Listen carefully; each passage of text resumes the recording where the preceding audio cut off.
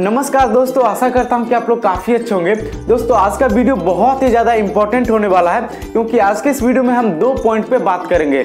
सबसे पहला पॉइंट कि सबसे बेस्ट डॉग फ़ूड कौन सा है, और दूसरा पॉइंट कि यदि आपका बजट कम है तो आप सबसे बेस्ट डॉग फ़ूड कौन सा खरीदो, जिससे आपके डॉग पे रिज़ल्ट काफ़ी बेहतरीन हो।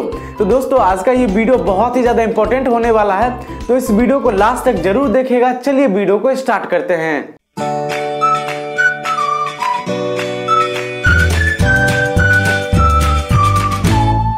तो दोस्तों, चलिए सबसे पहला पॉइंट पे बात करते हैं कि सबसे बेस्ट डॉग फ़ूड कौन सा है?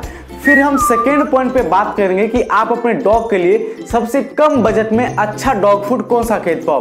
तो दोस्तों, वैसे तो मार्केट में बहुत सारे टाइप के डॉग फ़ूड हैं, आपको अच्छे तरीके से पता होगा।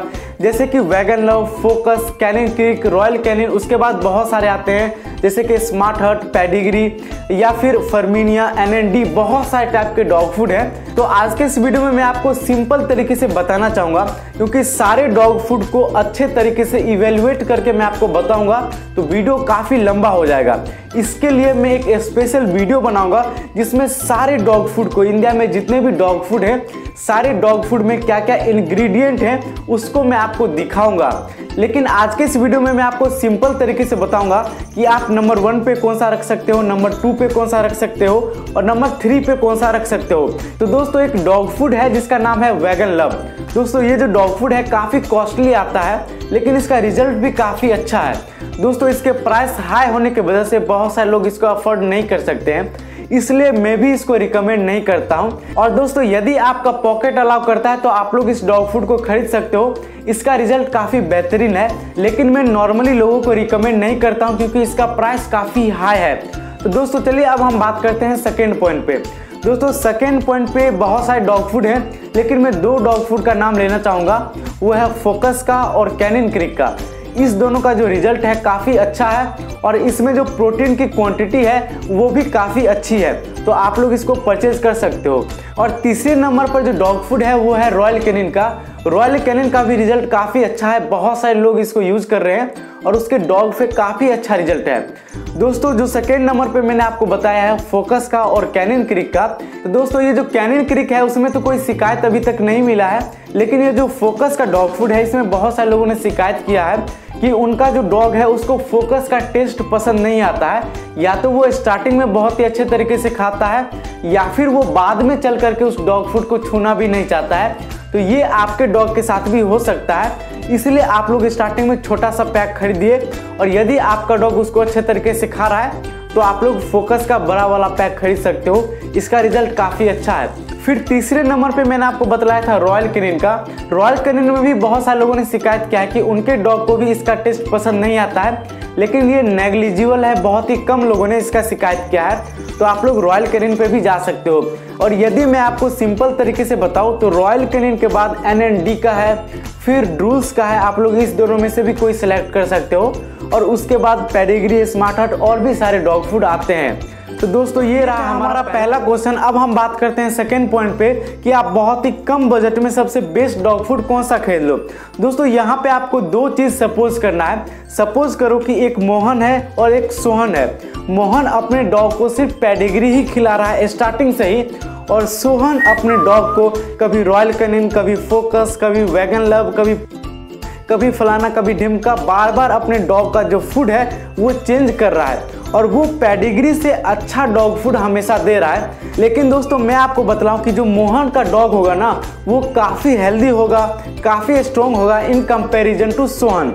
दोस्तों, एक चीज़ मैं आपको बतलाना चाहूँगा कि जो डॉग फ़ूड होता है, उसमें बहुत सारे टाइप के इंग्रेडिएंट होते हैं। यदि आप लोग अपने डॉग का जो फ़ूड है, वो बार बार चेंज करोगे तो आपके डॉग में एडजस्ट होने में टाइम लगेगा। इसलिए आप लोग अपने डॉग का डॉग फ़ूड बार बार चेंज मत कीजिए। एक ही बार आप डिसाइड कर लीजिए कि आप अपने डॉग को कौन सा डॉग फ़ूड देने वाले हो, और उसी को कंटिन्यू रखिए। इससे आपके डॉग में काफ़ी अच्छा रिज़ल्ट मिलेगा। तो दोस्तों, यहाँ पे कुछ ऑनर ये सोचते होंगे कि अपने पप्पी को मैं अच्छा डॉग फ़ूड खिलाऊं तो दोस्तों, यहाँ पे मैं आपको एक रिकमेंड कर सकता हूँ कि आप अपने डॉग को जो स्टार्टर है, वो अच्छे ब्रांड का खिलाइए। जैसे कि आप अपने डॉग को तीन से चार मंथ तक स्टार्टर खिलाते हो तो उस टाइम पे आप कोई अच्छे ब्रांड का सेलेक्ट कीजिए, जैसे कि फोकस कैनिन क्रिक या फिर रॉयल कैनिन इस तीनों में से आप कोई भी सेलेक्ट कर सकते हो, ठीक है? तीनों का जो ओरिजिनल प्रोडक्ट का लिंक है, वो डिस्क्रिप्शन में डाल दूँगा, आप लोग वहाँ से परचेज कर सकते हो। दोस्तों, ये तीनों हल्का सा कॉस्टली आता है। फिर भी ये आपके डॉग के हेयर के लिए, उसके बोन के लिए काफ़ी अच्छा रहेगा। और इसके बाद कोई एक डॉग फ़ूड आप पकड़िए और कम से कम एक से डेढ़ साल तक आप वही कंटिन्यू कीजिए। जैसे कि आप पैडिग्री देना चाहते हो तो पैडिग्री ही कंटिन्यू रखिए, ठीक है? और एक से डेढ़ साल के बाद आप अपने डॉग को कंप्लीटली होममेड फ़ूड पे ला सकते हो, ठीक है? दोस्तों, बहुत सारे लोग ऐसा सोचते हैं कि मैं अपने डॉग को लाइफ टाइम तक डॉग फ़ूड दूँगा।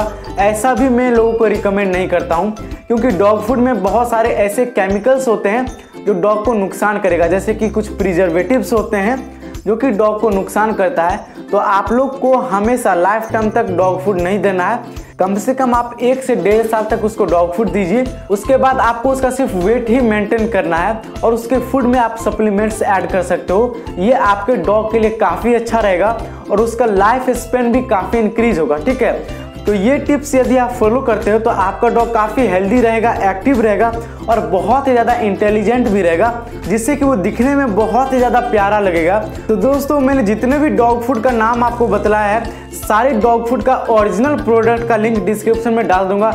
आप लोग उसको अमेजन से परचेज कर सकते हो और अमेजन पे अभी ऑनलाइन डिलीवरी स्टार्ट हो चुका है। तो आप लोग वहाँ से परचेज कर सकते हो। और दोस्तों, आज का हमारा वीडियो और टिप्स आपको कैसा लगा कमेंट करके ज़रूर बताएँ। जब भी आप लोग कमेंट करते हो तो एक मोटिवेशन सा फील होता है, ताकि मैं आपके लिए और भी अच्छा अच्छा वीडियो ला के दूँ।